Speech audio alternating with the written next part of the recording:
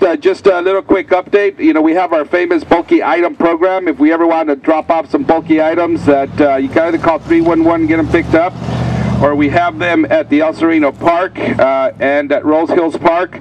We're starting that up again, and uh, want to let you know that you guys noticed the tree trimming on Eastern Avenue. Didn't that look nice?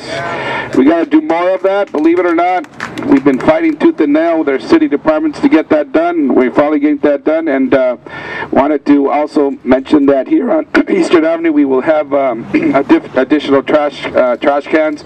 We put more out there. We're gonna we have LA Conservation Corps cleanup Huntington Drive uh, as part of uh, a contract we started with them to make that happen. And finally, last but not least, uh, just a reminder to everybody: if you want to report graffiti, it gets down within 48 hours. So thank you so much. It's part of our effort to continue keep our community clean. And you know, we try to do the most we can, but at the end of the day, it comes down to personal responsibility and helping and reminding others to keep our beautiful community clean. Today, uh, you got coming out here volunteering, so we thank you. What's your name? Oscar? Are you part of the Stallions? Yes. What do you do there? Mm, play football? All right. Well, you, you got good grades too? Yes. All right. Let's give him a big round of applause. Thank you so much. Have a great one. Thank you.